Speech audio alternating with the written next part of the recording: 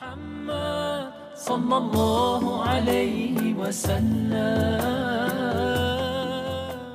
السلام علیکم ورحمۃ اللہ وبرکاتہ بسم اللہ الرحمن الرحیم ناظرین آج مزار مبارک کی زیارت کر رہے ہیں حضرت سید شاہ سیف اللہ رفائی رحمۃ اللہ علیہ جب آپ صورت تشریف لا کر رندیر نامی علاقے میں مقیم ہوئے رندیر کو پہلے منی پور کہتے تھے رندیر پہنچ کر آپ نے ایک مسجد میں قیام فرمایا۔ اس مسجد کو آج کل میاں کی مسجد کہتے ہیں۔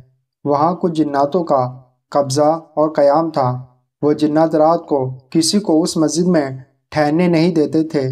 اگر کوئی رات کو مسجد میں رہ جاتا تو وہ جنات اس کو مار ڈالتے۔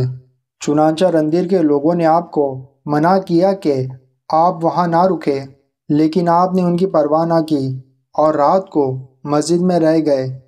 صبح کو جب مسجد کا دروازہ کھولا گیا تو سب کو یہ دیکھ کر بڑی حیرت ہوئی کہ آپ زندہ ہے اور نماز پڑھ رہے ہیں۔ اس واقعے سے تمام رندیر میں آپ کی شہرت ہو گئی اور لوگ جوگ در جوگ آپ کی خدمت میں حاضر ہونے لگے اور فیض پانے لگے۔ آپ حسینی سعادات ہیں۔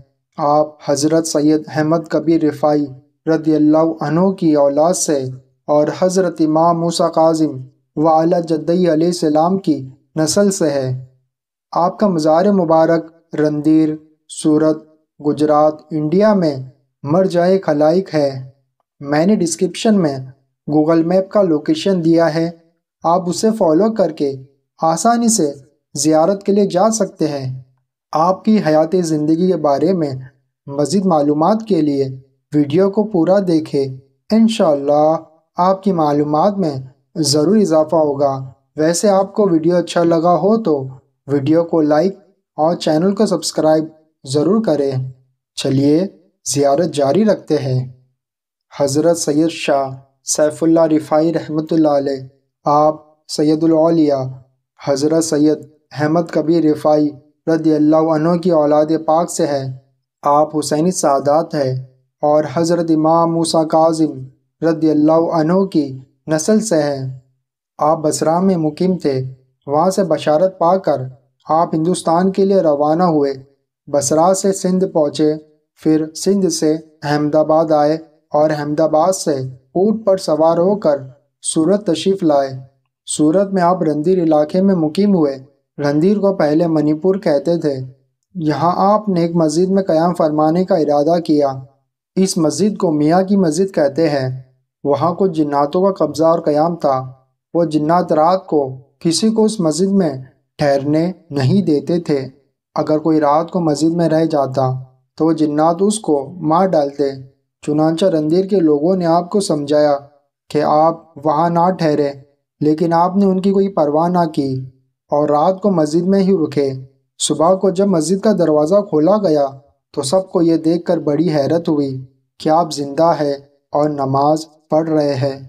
اس واقعے کی خبر پوری رندیر میں پھیل گئی اور بڑی تعداد میں لوگ آپ کی خدمت میں حاضر ہونے لگے اور فیض پانے لگے۔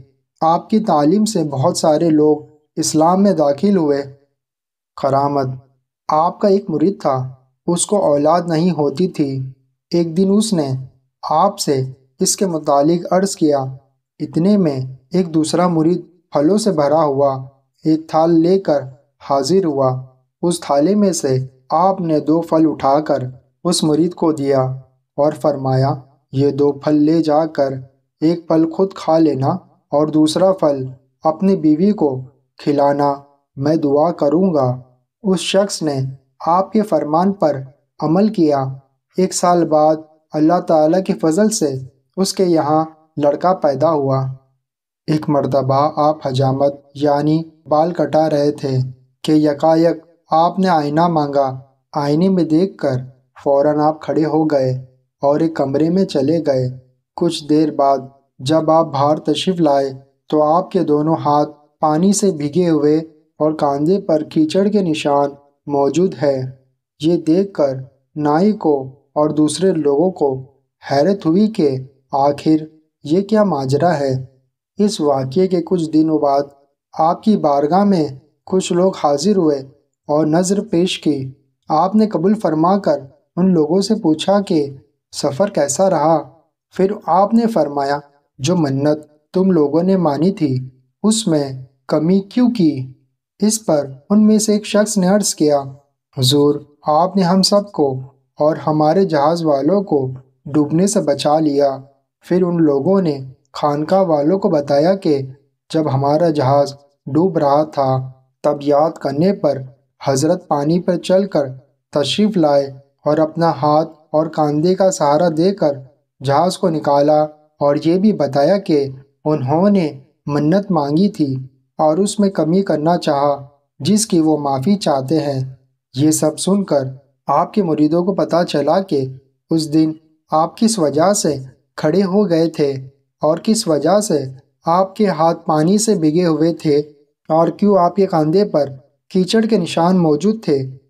آپ کا وصال دو جمادی الاول کو ہوا۔